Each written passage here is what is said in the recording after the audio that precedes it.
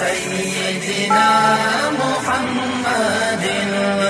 اللهم صل على سيدنا محمد. الحمد لله رب العالمين والصلاة والسلام على أشرف الأنبياء والمرسلين وعلى آله وأصحابه أجمعين. أما بعد، اللہ رب العزت کے بابرکت نام سے شروع جو نہایتی مہربان اور رحم کرنے والا ہے۔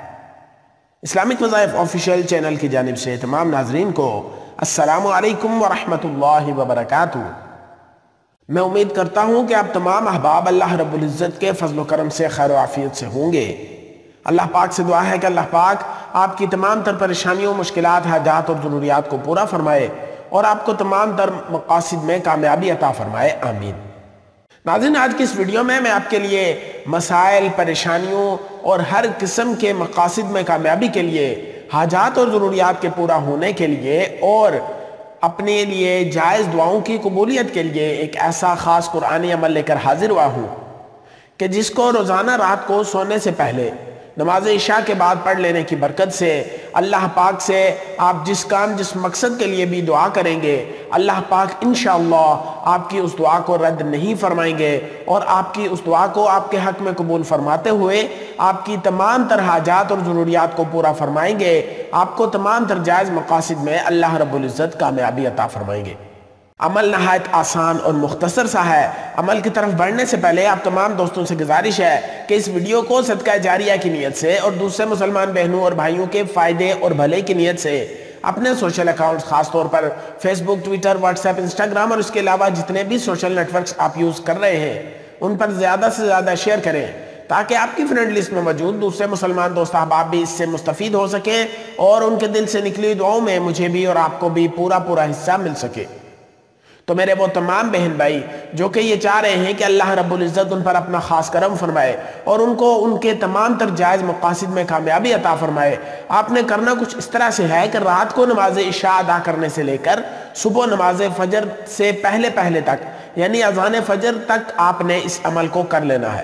اس عمل کے کرنے کا جو صحیح وقت ہے وہ رات کو نماز عشاء ادا کرنے کے بعد سے لے کر صبح اذان فجر سے پہلے پہلے تک کا وقت ہے۔ اس وقت میں آپ کسی بھی ٹائم اس عمل کو کر سکتے ہیں۔ چاہے تو عشاء کے فوراً بات کر سکتے ہیں، نماز تحجد کے وقت کر سکتے ہیں، یا سونے سے پہلے جب آپ سونے کی تیاری کریں تو سونے سے پہلے اس عمل کو کر کے پھر آپ سو جائیں۔ انشاءاللہ اس عمل کے کرنے کی برکت سے آپ کو تمام تر جائز مقاصد میں اللہ رب العزت غیبی مدد سے کامیابی عطا فرمائیں گے۔ تو آپ نے کرنا کچھ اس طرح سے ہے کہ نماز عشاء آپ نے ادا کر لی۔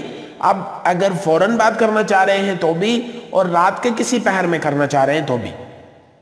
آپ نے کرنا یہ ہے کہ تازہ وضو کر کے جائے نماز بچھا کر آپ نے جائے نماز پر بیٹھ کر اول اکیس مرتبہ، اول آپ نے اکیس مرتبہ درود ابراہیمی نماز میں پڑھا جانے والا درود شریف اکیس مرتبہ پڑھنا ہے۔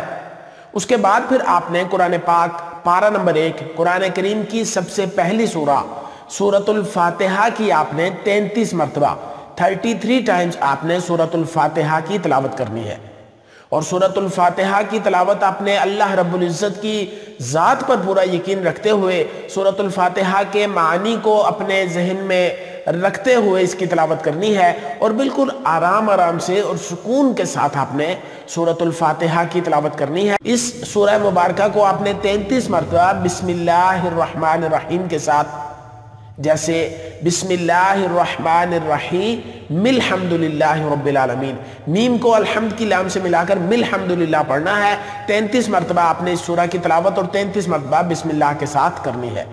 جب تینتیس مرتبہ اس سورہ، اس مبارک سورہ کی تلاوت ہو جائے، تو آخر میں پھر آپ نے اکیس مرتبہ درود ابراہیمی پڑھ کر اب آپ نے جائے نماز پر کھڑے ہو کر دو رکعت نماز نفل صلاة الحاجت جو بھی آپ کا مقصد ہے اس کو ذہن میں رکھتے ہوئے آپ نے نیت کرنی ہے کہ میں فلاں مقصد میں کامیابی کے لیے یہ نفل پڑھ رہا ہوں یا فلاں پریشانی سے نجات کے لیے یہ نوافل ادا کر رہا ہوں، اس نیت سے آپ نے بالکل عام نمازوں کی طرح سے سورت سورہ فاتحہ کے بعد کوئی سی بھی صورت ملا کر آپ نے رکو سجود کر کے پوری دو رکعت نماز نفل آپ نے مکمل کر لینی ہے۔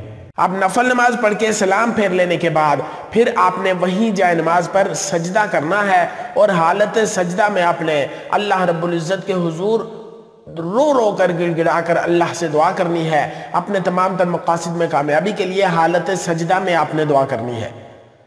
رو رو کر اللہ کی ذات عالی پر یقین رکھتے ہوئے اللہ سے دعا کرے۔ رات کا پہر ہو، تنہائی کا وقت ہو، اور اس میں ایک بندہ اللہ کے حضور سجدہ ریز ہو، آنسو بہا رہا ہو، اور اللہ سے اپنی پریشانیوں اور مشکلات کے حل کے لیے دعائیں کر رہا ہو۔ تو دیکھیے کہ اللہ رب العزت کس قدر اسے نوازتے ہیں، اور اسے کس قدر اپنے انعامات و اکرام اللہ رب العزت عطا فرما کر اس کی تمام تر ضرورتوں کو غیبی خزانوں سے پورا فرماتے ہیں۔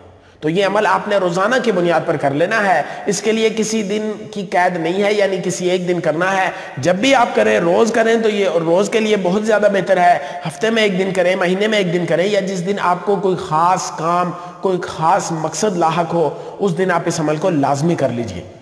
عمل آپ نے جان لیا کہ نماز عشاء کے بعد سب سے پہلے آپ نے جائے نماز بچھا کر یا پھر نماز کے فوراً بعد اگر پڑھ رہے ہیں تو نماز ادا کرنے کے فوراً بعد ہی اول آخر اکیس اکیس مرتبہ درود ابراہیمی اور درمیان میں تینتیس مرتبہ صورت الفاتحہ کی آپ نے تلاوت کرنی ہے۔ جب یہ عمل ہو جائے تو پھر آپ نے دو رکعت نماز نفل ادا کر کے حالت سجدہ میں اللہ رب العزت کے حضور اپنی پریشانیوں، محتاجی، غمی اور ہر قسم کے جو بھی مقاصد ہیں ان میں کامیابی کے لیے اللہ رب العزت سے دعا کرنی ہے۔ انشاءاللہ اس خاص عمل کے کرنے کی برکت سے اللہ پاک آپ پر اپنا خاص فضل اور کرم فرمائیں گے اور آپ کی دعاؤں کو آپ کے حق میں قبول فرماتے ہوئے آپ کی تمام تر پریشانیوں، مشکلات، حاجات اور ضروریات کو اپنے فضل سے پورا فرما دیں گے اور آپ جس کام، جس مقصد میں کامیابی کے لیے اس عمل کو کریں گے، اللہ پاک آپ کو اس کام، اس مقصد میں بھی خصوصی طور پر غیبی مدد سے کامیابی عطا فرمائیں گے۔ امید ہے آپ کو ہماری آج کی یہ ویڈیو بھی پسند آئی ہوگی۔ آپ سے گزارش ہے کہ اگر آپ ہمارے اس چینل پر نئے ہیں اور ہماری یہ ویڈیو پہلی بار دیکھ رہے ہیں، تو ابھی ویڈیو کے نیچے سبسکرپشن بٹن پر کلک کرتے ہوئے چینل کو سبسکرائب کر لیجیے اور ساتھ ہی موجود گھنٹی کے بٹن کو لازمی دبا دیجیے تاکہ مزید آنے والی ہماری اس طرح کی اسلامی اور معلوماتی ویڈیوز آپ تک بر وقت اور بآسانی پہنچ سکیں۔ انشاءاللہ بہت جلد ایک نئے ویڈیو اور ایک نئے عمل کے ساتھ آپ کی خدمت میں حاضر ہوں گا۔ اپنا بہت سارا خیال رکھیے گا۔ دعاؤں میں ہمیں ضرور یاد رکھیے گا۔ اللہ حافظ السلام علیکم ورحمۃ اللہ وبرکاتہ۔